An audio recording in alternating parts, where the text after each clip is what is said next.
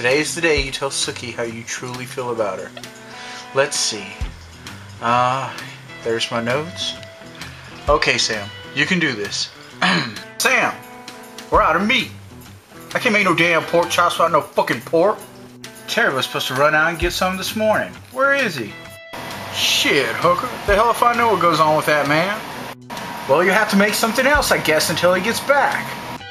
No motherfucking meat! Oh, Sam, I'm gonna take my 15. oh, okay, Arlene, just go. Alrighty then. Okay. Sookie, we've known each other for a while now. And I know that both of us been through a lot. We've both matured. I just want to tell you how I really feel, my feelings for you, and that I Sam, Lafayette says we're out of meat entirely. can't make no damn lunch without motherfucking meat.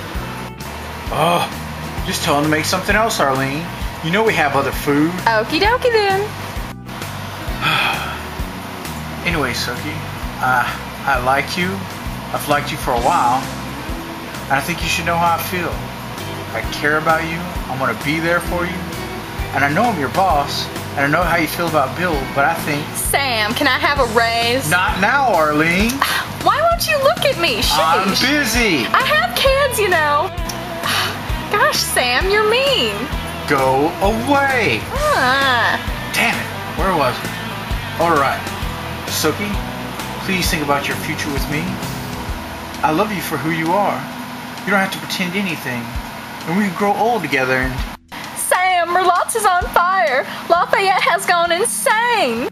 no motherfucking me. Damn it, Arlene, leave me alone. But Sam, no, roar. ah,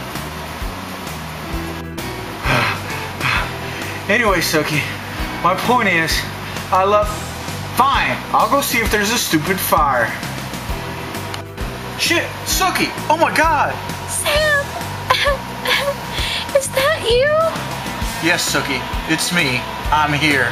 I told Arlene to go get you. Lafayette, meat, no meat.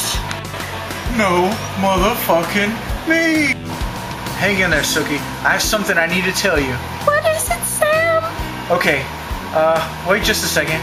I forgot my notes. Ah, No! Why? No! This was not part of the plan! ready to apologize. I'm ready to forgive. Get the fuck out. I have kids.